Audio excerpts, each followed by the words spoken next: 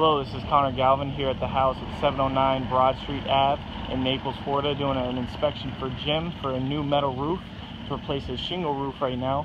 Um, before getting on the roof here, Jim, I just want to point something out to you. Uh, here on this underside here, you have what's called your fascia, and your fascia is actually rotted right here. Um, and the gutter is currently connected into the fascia here. We're going to have to disconnect this gutter, and I will point something else out to you when I get up on the roof.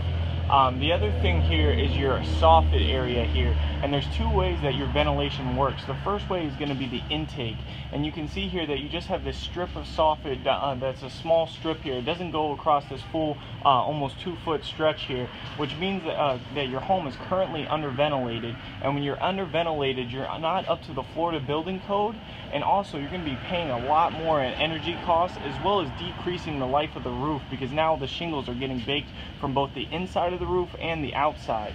Um, so I wanted to get up on the roof here. Now I talked about the gutters being fastened into the fascia. Another thing with these gutters is you can actually see that there's ponding water currently in the gutter system. So um, this is something that we might want to address because there's ponding water here. It wasn't installed correctly from the get-go and that means that the gutters will probably start to leak down the road.